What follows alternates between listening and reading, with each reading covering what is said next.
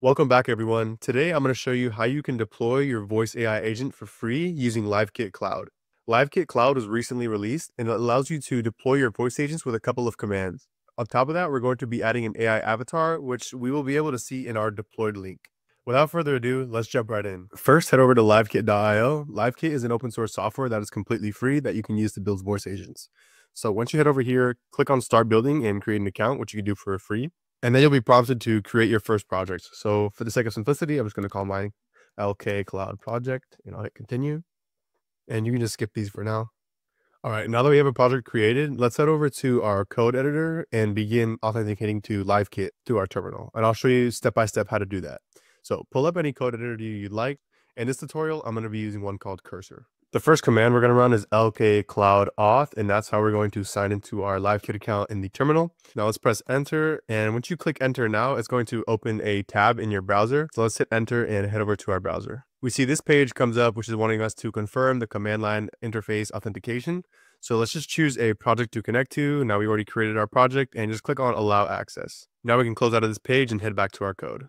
And we can just make this project a default. So hit yes. Next, let's run the command lk app create. And for this tutorial, we're going to use the Python template. Notice they have other languages like Node, React, so lots of JavaScript, and also other templates you can use like embedding a widget. But for now, we're just going to use the starter Python. So I'm going to click enter, and we can call this anything. Let's just put test app.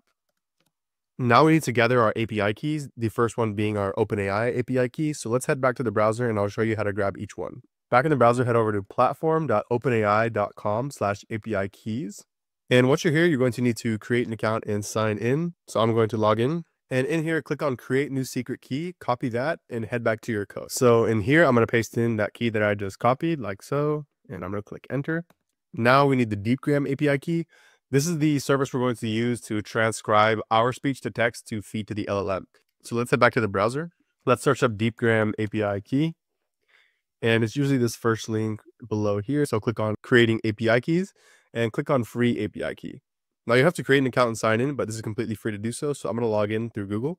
Now that I'm in here, I can click on create API key and I can just name this whatever I want, like test API key. Now I already have mine, so I'm not going to click create key as I'm going to use one that I already have, but this is how you would retrieve your DeepGram API key. So do that and then head back to the terminal. So now we have that copied, let's paste that in there. And the third and final one we need is Cartesia.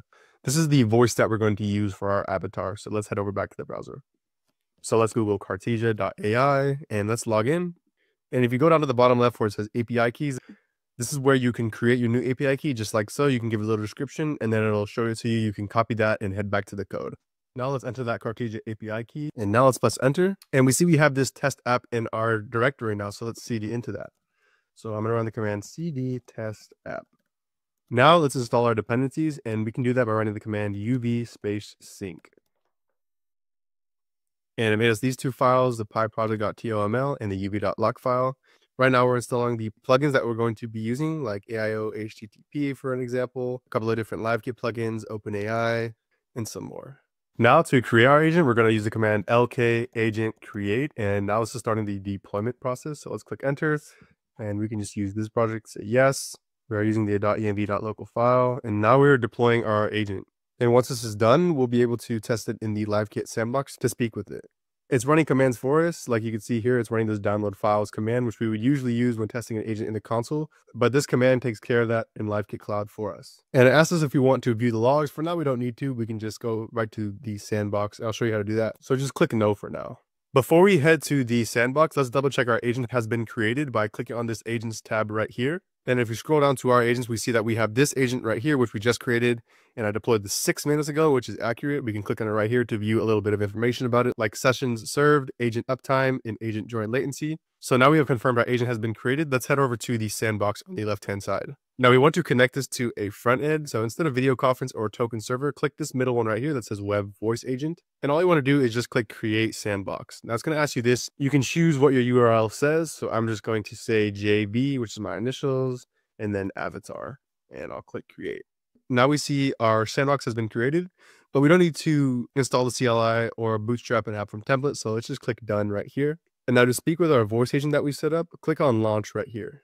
All right, now we see our deployed link. This is not in localhost. This is a link that LiveKit gave us. So this link right here, we put it in our browser and we see that Next.js front end that we wanted. And if we click start call, we should be able to speak with our voice agent. Now let's click start call and wait for the agent to appear.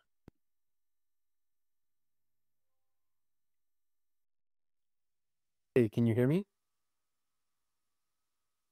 I can. How can I assist you today? Yeah, can you tell me a fun fact about San Francisco? Sure. Did you know that San Francisco is home to the first cable cars in the world? They were introduced in the late 19th century and are still in operation today, providing a unique way to explore the city's steep hills. Got it. And what's a fun fact about AI? Here's a fun one AI can learn from vast amounts of data much faster than humans. Some AI systems can analyze millions of documents in seconds, which helps them spot patterns and make predictions that would take humans much longer to figure out. Got it. Thank you. You're welcome. If you have more questions or need assistance with anything else, just let me know. And if I click end call here, the agent goes away. Awesome. So we see that our deployed link is working. Now let's work on integrating the avatar into our setup. First off, head into the source folder and look at this agent.py file. Really quickly, this is the functionality of our voice agent, and it is a file that LiveKit provides to us. We're making a class for our assistant, and LiveKit gives us this fake function tool, but you don't have to worry about that for now. The main thing we want to look at is this entry point where we are declaring our session with our different plugins such as OpenAI for our LLM, DeepGram, Cartesia, then a couple of different things for turn detection, making the conversation flow a bit better. Now, if you scroll down a bit more, we see the session.start function kicks off the room, setting the agent to the assistant class that we just initialized and edits the room input options a little bit. And then this connect function allows us, the user, to connect to the room. And for today's video, we're going to be using Simli, so I'll show you how to integrate that. So I'm going to go over the Simli doc step by step. For the installation, we're going to run pip install and this command right here. But instead of pip, we're going to be using UV, and I'll show you how to do that. So copy this command and head back to your terminal and paste in the command, but you can go ahead and delete the pip install just like so. And instead of that, write UV add and then hit enter. This is going to be installing the Simli plugin that we need. Okay, cool. Now, once that is done, let's run UV sync one more time. And then once that is done, we need to add that to our list of plugins. So right here, we have Cartesia, DeepGram, all the way to Silero. We're going to add Simli and save that. Now we need to grab our API key and choose an avatar to use. So let's head back to the browser and I'll show you how to do this. Okay, so head over to simli.com and create an account and sign in. Once you do so, click on create avatar. So you'll be brought into this interface. It's pretty simple. You'll see a list of your avatars and I actually made one of myself which I'll be using for the demo. And we have a couple of other ones right here. But the important thing to note is we have to copy this face ID. But before we do that, let's head over to API keys and get our API key situated. You'll see your API key right here. So just click on the copy button. Now we have a copy to clipboard and we're going to head back to our code. We need to initialize our avatar and we can do that right below where we initialize the session. So down under where we did that, go ahead and paste in this the assembly object that we just imported and then we are calling the avatar session method on it. So copy and paste your API key here as well as that face ID that I mentioned to you before. Now this is the face ID that I made for my own face. You can very easily do that by clicking on create avatar. Next, we need to start the avatar and wait for it to join. So you can do that by calling the start function like we were doing below down here using the session.start, but instead using await avatar.start passing in the session in the room. And that is pretty much all we have to do. So let's test out that our avatar is actually attached. So to do that, we can test that in the LiveKit Playground. So what I'm going to do is run a couple of commands. The LiveKit Playground is just a UI that LiveKit provides that lets you easily test and speak with your voice agents. Now we do have to run a command to download some necessary files, and that command is uv run uh, source slash agent.py because that's how we're going to access that file while we're in the parent directory. And then just write download hyphen files and let that run. And the next command that we want to run is uv run source slash agent.py dev. Run that, and then let's head back to our browser. Back in the browser, search up LiveKit Playground and click on that project that we just started and then click connect to project. And once we click connect, we're basically waiting for our agent to show up as well as our avatar that we attached to it. So right now we're going to click this button and we should be greeted with our voice agent and our Simli avatar.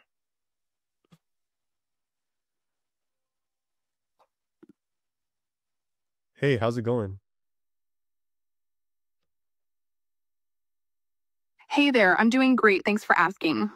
How about you? Yeah, I'm good. Can you just tell me a fun fact about San Francisco? Sure. San Francisco is home to the famous cable cars, which are the only mobile National Historic Landmarks in the United States. They were first introduced in 1873 and are still in operation today, making them a unique part of the city's charm. Interesting. Can you tell me a fun fact about yourself? Of course, I can provide information on a wide range of topics, from weather updates to trivia and everything in between. I never get tired, and I'm always ready to help. How about that for a fun fact? And awesome. So we see that our avatar is showing up connected to our voice agent. We can speak with it and see the chat live right in front of us. So now let's go back to the code and I'll show you how to deploy this version so that when you pull up your deployed link in the sandbox, this avatar will show up as well. And one thing, I know it's bad practice to put your API keys directly in the code like this, but I'm just doing that for the sake of the example. When you're doing this yourself, I recommend putting this in the .env.local file that we have here. But anyways, back to the code. What I want to show you is how we actually deploy it. So we only have to run one command to get this actually in the deployed version. And that command is lk agent deploy.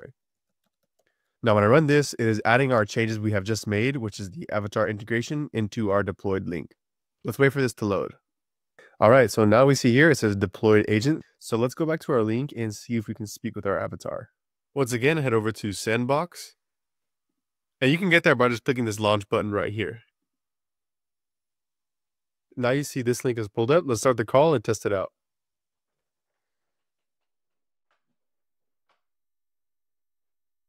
Can you hear me? Hey there, I can hear you in a way. How can I assist you today?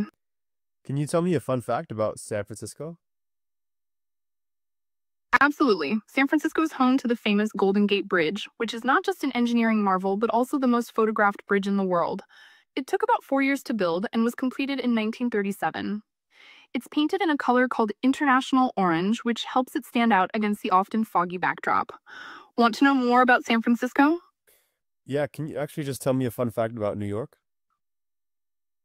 Sure. One fun fact about New York City is that it has its own unique ecosystem with over 600 species of birds spotted in the city. Central Park alone is a vital stopover for migratory birds, making it a great spot for birdwatching right in the middle of the urban hustle. Anything else you'd like to learn? That's it. Thank you. You're welcome. If you have more questions in the future, feel free to ask. Have a great day. Thank you for watching, and as always, I put the link to the GitHub repository in the description, and if you have any questions, drop them in the comments and I'll be happy to respond. See you in the next tutorial.